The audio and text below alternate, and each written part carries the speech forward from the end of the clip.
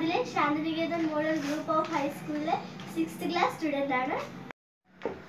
ഞാൻ ഇതിന് മുമ്പേ ഹിന്ദിയിലൊരു വീഡിയോ ആലു മസാല കറിയുടെ ഒരു റെസിപ്പി അപ്ലോഡ് ചെയ്തിരുന്നു.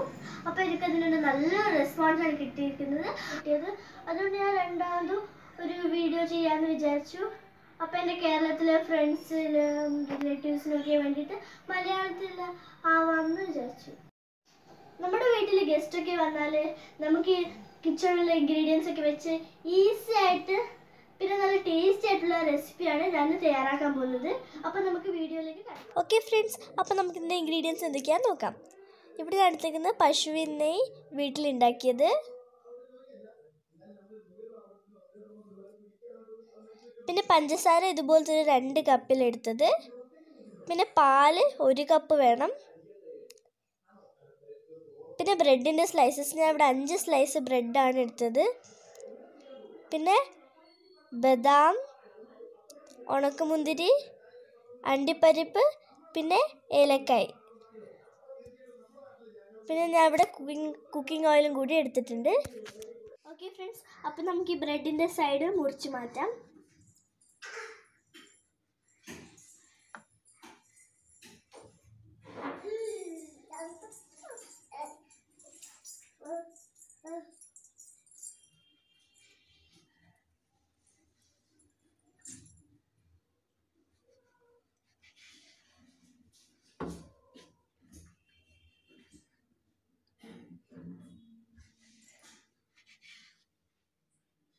നമുക്കിത് ചെറിയ ചെറിയ കഷ്ണങ്ങളായിട്ട് മുറിച്ചെടുക്കാം.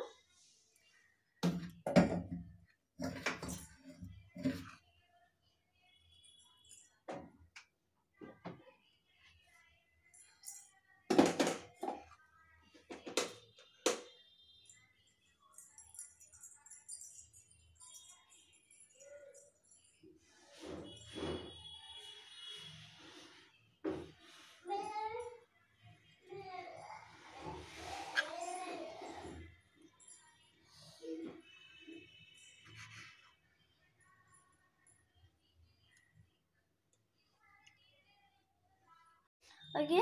അപ്പോൾ ഞാനിത് എല്ലാം ചെറിയ ചെറിയ സ്ലൈസ് ആയിട്ട് മുറിച്ചിട്ടുണ്ട്. ഇനി നമുക്ക് കുക്കിങ്ങിലേക്ക് കടക്കാം.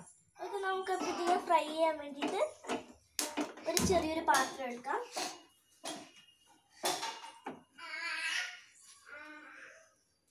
ഇപ്പോൾ ഇതൊന്ന് ചൂടായിട്ടുണ്ട്. നമുക്കിപ്പോൾ ഇതിനകത്തേക്ക് നെയ്യും ഓയിലും ഈക്വലായിട്ട് ചേർത്ത് കൊടുക്കാം.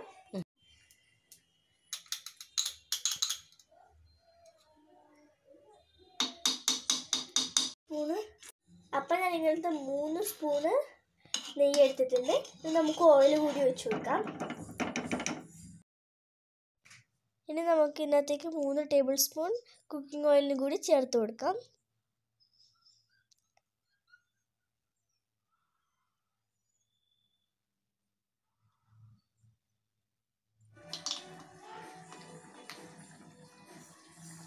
ആദ്യം ബദാം ഫ്രൈ ചെയ്തെടുക്കാം.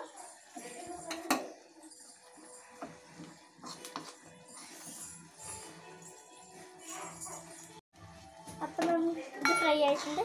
നമുക്ക് ബദാം മാറ്റി വയ്ക്കാം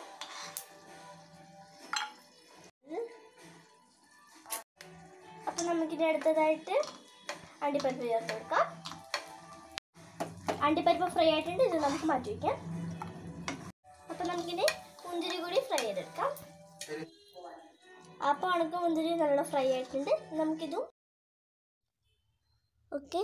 ഇനി നമുക്ക് ഇതിനകത്തേക്ക് ഫ്രൈ ചെയ്യാൻ വേണ്ടിയിട്ട് ബ്രെഡ് കൂടി ചേർത്ത് കൊടുക്കാം.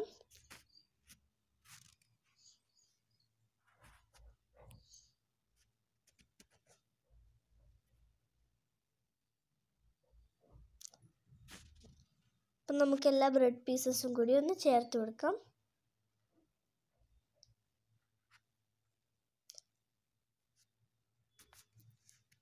എന്നിട്ട് നമുക്കൊന്ന് മിക്സ് ചെയ്യാം.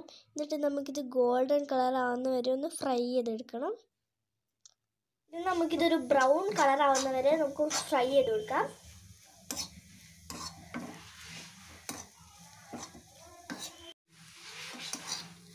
അപ്പോൾ ഇത് നല്ല ബ്രൗൺ കളർ ആയിട്ടുണ്ട്. ഇനി നമുക്കിത് പ്ലേറ്റിലോട്ടേക്ക് മാറ്റാം. അപ്പം നമുക്കിത് മാറ്റി വയ്ക്കാം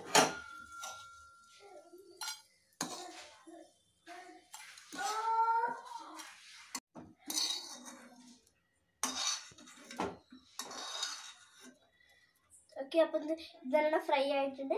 നമുക്ക് അടുത്ത അപ്പം നമുക്ക് ഇതിനകത്തേക്ക് ഇതുപോലത്തെ ഒരു രണ്ട് കപ്പിൽ പഞ്ചസാര ചേർത്ത് കൊടുക്കാം.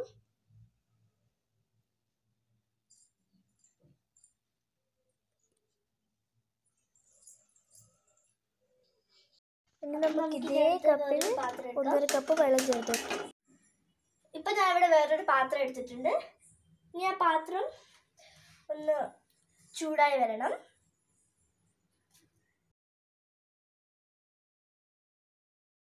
ഇനി നമുക്ക് പഞ്ചസാര കുറുക്കിയത് ഈ പാത്രത്തിലേക്ക് മാറ്റാം. ഇനി നമുക്ക് ഈ പഞ്ചസാര കുറുക്കിയതിലോട്ട് നമ്മൾ നെയ്യിൽ വറുത്ത് വെച്ച് ബ്രെഡ് കൂടി ചേർത്ത് കൊടുക്കാം. അപ്പോൾ നമുക്ക് ഇതിൽ ബ്രെഡ് പീസസ് ഒന്ന് മാഷ് ചെയ്തെടുക്കാം.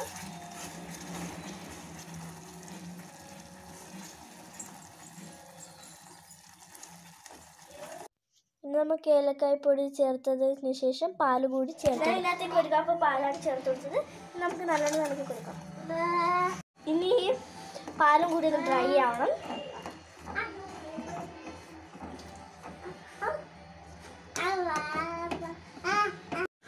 അപ്പം നമുക്ക് നല്ലോണം മിക്സ് ചെയ്ത് കൊടുക്കാം.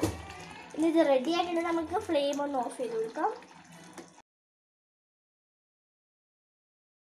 ഓക്കെ ഫ്രണ്ട്സ് അപ്പം നമ്മുടെ സ്വീറ്റ് റെസിപ്പിയായ ഡബിൾ കമീറ്റ ഇവിടെ റെഡിയാണ് ഇത് നമുക്ക് ഇതിനൊരു ബൗളിലേക്ക് മാറ്റി.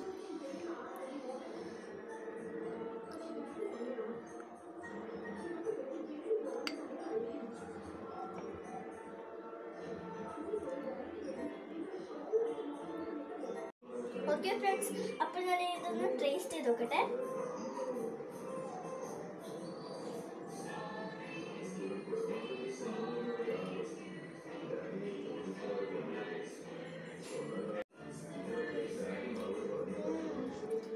ആ ബ്രെഡും പിന്നെ ഒരു ക്രഞ്ചി ആയിട്ടുള്ള ബദാമും കൂടി പിന്നെ കഴിക്കുമ്പോൾ നല്ല ടേസ്റ്റാണ് നല്ല സ്വീറ്റും നല്ല ടേസ്റ്റാണ് അപ്പം നിങ്ങൾക്ക് ഈ വീഡിയോ ലൈക്ക് ഇഷ്ടമെങ്കിൽ ലൈക്ക് ചെയ്യുക ഷെയർ ചെയ്യുക സബ്സ്ക്രൈബ് ചെയ്യുക.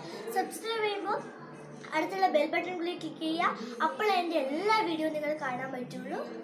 Okay thank you by